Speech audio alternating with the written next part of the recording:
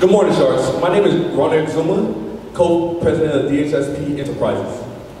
Good morning. My name is Deshana Gray, head of finance. Good morning. My name is Vanity Gray, VP of marketing.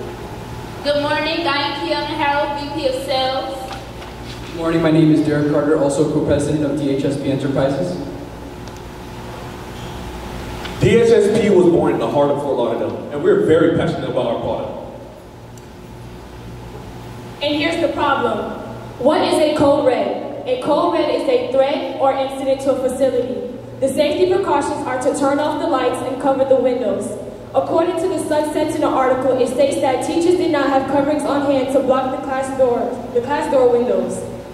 All students need to be safe. In order to do this, teachers need to cover the windows and turn off the lights. That's why we have created Safe Block, a magnetic window cover. Covering the window is a safety precaution teachers take in order to deter the shooter by making the room seem dark and unoccupied. It can be very time consuming for teachers to have to find paper and tape to cover their windows. Our product, Safe Block, solves the problem of teachers having to find paper and tape to cover their windows in emergency situations, such as code red and code yellows. This is an example of our product. It is fast, always ready, and expensive and durable. The features are permanent magnetic material, custom cut the window size, white or custom artwork, and it stores on the door for immediate use.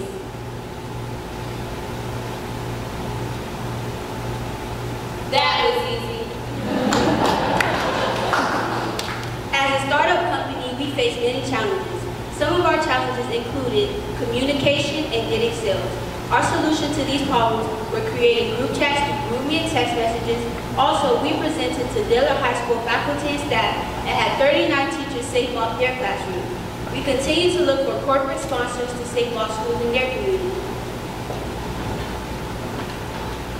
We're the only company selected to present at the JA Inspires VIP Breakfast on February 8, 2019. We also have an upcoming presentation at the Broward County Commission to safe block all schools in Broward County.